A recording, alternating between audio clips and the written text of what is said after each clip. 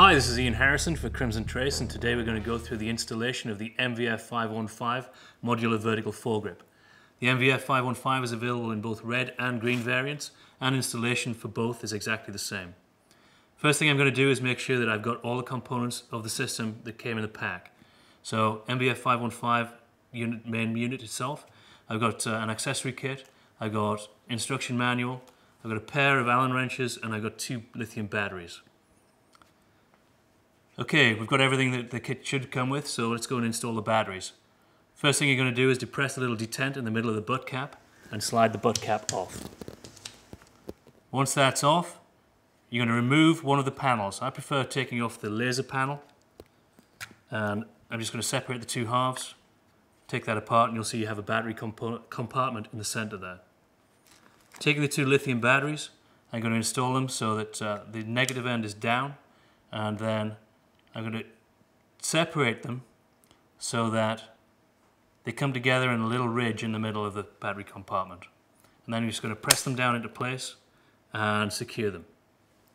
Don't try and install them flat on this because it's very, very difficult to get them in because it's a tight fit. Once the batteries are installed, I'm then going to take the laser component that I took off, install it back on the tang and squeeze the two halves together.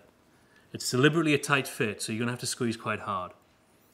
And then I'm going to take the butt cap that I just took off, slide it back in place until the little detent pops out and it's secure.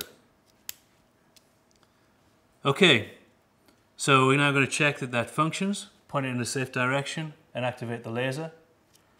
The bottom paddle activates the laser, top paddle activates the light. Both of those seem to work okay. So I'm just going to back the two screws off for the Picatinny rail attachment point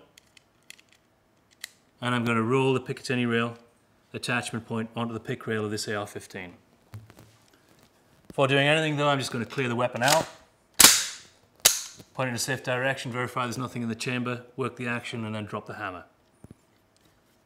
Going to roll the gun over, select an appropriate distance from the magwell to attach the VFG and then rock it into place.